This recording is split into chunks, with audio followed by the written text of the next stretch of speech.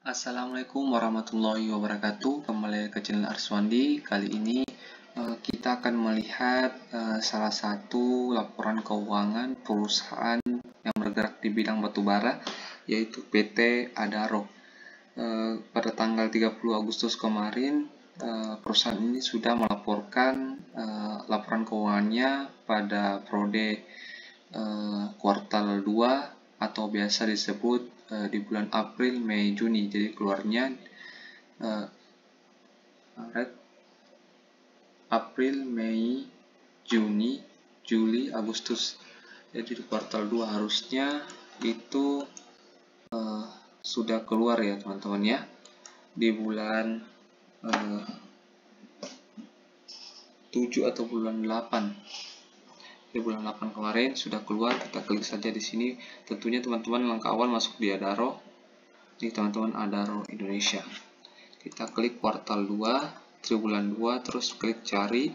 Nah setelah di kondisi seperti ini teman-teman fokus ke yang ini aja.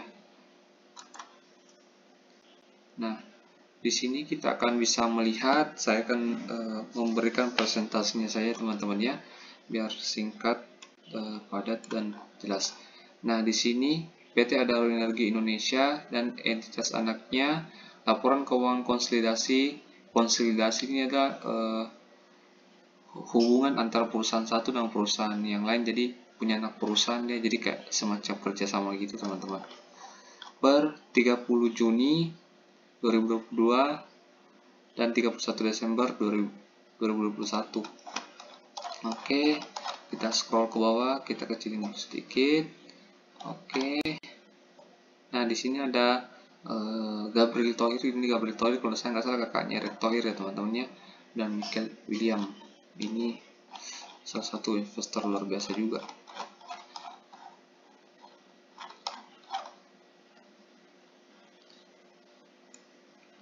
Nah, di sini uh, langkah awal kita bisa melihat uh, kas dan setelah kasnya sangat meningkat ya, hampir hampir 100% tapi kita uh, akan eh, oh ya teman-teman uh, di sini aset lancar dan aset tidak lancar itu yang membedakan adalah uh, aset lancar itu aset yang bisa dicairkan dalam kurang waktu dalam satu tahun sedangkan aset tidak lancar lebih dari satu tahun teman-teman. Karena di sini ada tanah bangunan dan lain sebagainya. Nah di sini kita bisa lihat uh, untuk total asetnya di kuartal 2 eh, di 31 Desember 2021 itu sejumlah uh, 7.586.936 rupiah. Ini jangan lupa kita bisa lihat di sini dinyatakan sebagai ribuan dolar, ribuan dolar teman-teman.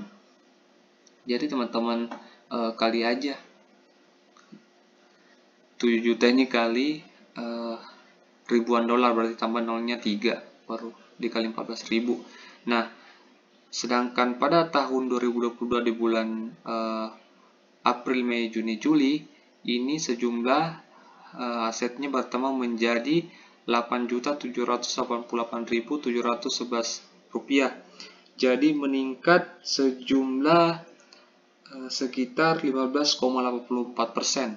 Wow, sangat luar biasa teman-teman.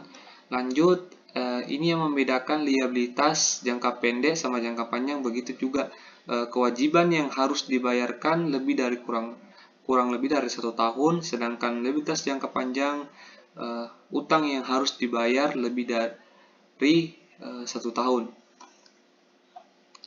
Bisa kita lihat untuk utangnya sendiri Eh, bisa kita lihat pada tahun 2021 ini sejumlah 3.128.621 dan sejumlah tahun 2022 di bulan di kuartal 2 sejumlah 3.282.98 eh, rupiah. Jadi hanya meningkat 4,90. Ini merupakan signal yang sangat positif karena utangnya itu berkurang teman eh bukan utangnya itu uh, kecil dan dibarengi asetnya yang bertumbuh. Kita lanjut ke uh, ekuitas. Ekuitas itu adalah teman-teman uh, modal ya teman-teman.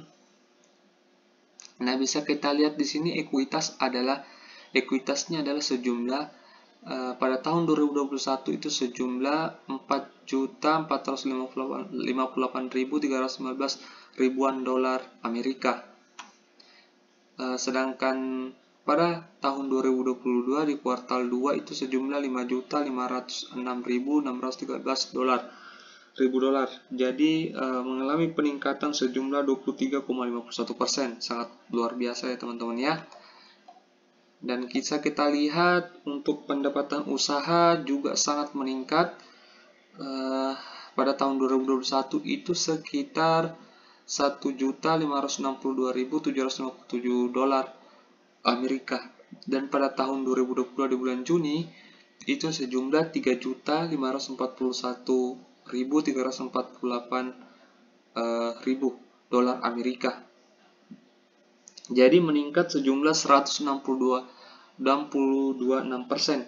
Oh ya teman-teman, di sini fungsi dari 3031 ini adalah penjelasan dari mana pendapatan usaha ini kenapa bisa meningkat dan apa produk apa yang mereka jual untuk mendapatkan uh, pendapatan usaha sejumlah ini. Jadi saya, tapi saya tidak akan menjelaskan karena biar singkat aja videonya teman-teman ya. Dan di sini kita bisa lihat pada laba periode berjalan setelah dikurang-kurangi laba eh, beban-beban pajak itu uh, pada tahun 2021 hanya menghasilkan sejumlah 189.990 uh, dolar Amerika. Dan pada tahun 2022 itu meningkat sejumlah 1.345.402 rupiah dolar Amerika. Atau meningkat sejumlah 610%, labanya meningkat sejumlah 610%. Itu untuk sebuah perusahaan itu luar biasa teman-teman untuk peningkatannya. Oke teman-teman, mungkin uh, segitu saja videonya. Oh iya, uh, sejak uh, laporan keuangan ini dikeluarkan pada tanggal 30 Agustus jam 6.35 itu perusahaan ini uh, mengalami kenaikan sahamnya sejumlah sampai pada tanggal uh, eh, 1 September itu sekitar 4,23 persen. Bisa kita lihat di sini saham Adaro.